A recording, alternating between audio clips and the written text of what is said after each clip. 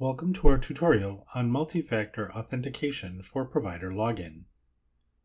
In this tutorial, we'll show you how the multi-factor authentication or MFA process works when you log into your user account. When multi-factor authentication, also called two-factor authentication, is in place, users are required to enter two forms of authentication to log in. For example, this might be your username and password and a one-time use code. Our TRICARE4U system requires you have a valid email address and phone number associated with your user profile to send you this code. Phone numbers must not include an extension or the call option will not work. Codes are random, computer generated, six digit numbers. The TRICARE4U.com web staff does not have access to these codes. The code will expire after 30 minutes if not used. When validated, the code session will be active for 8 hours. This code is validated and synchronized to your specific IP address. If you change devices, you will need to request a new code.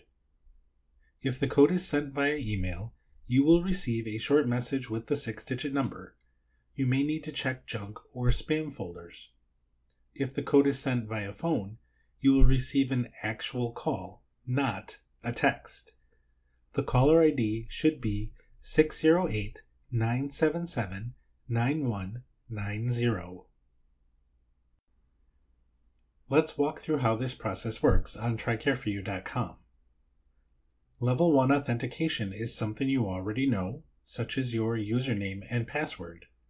Enter those, then click the Login button to proceed to Level 2. For Level 2, or the second part of the authentication process, you can choose to receive a one-time randomized code by email or by phone.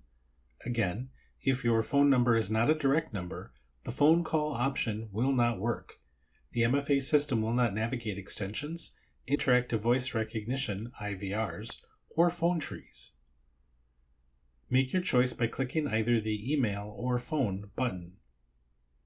After you make your selection, do not close the internet session you have open at TRICARE4U.com. If you select the email option or receive phone calls through your computer, open a separate browser window or tab to retrieve those codes.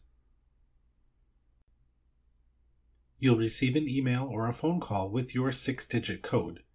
Enter that code into the Code field, then click the Validate Code button. Once the system validates the code, you'll be logged into your user account. Here is an example of the message you'll receive if you request the MFA code via email. Here's an example of what you'll hear if you request the MFA code via telephone call. Thank you for watching. We hope you enjoyed this presentation and found it useful.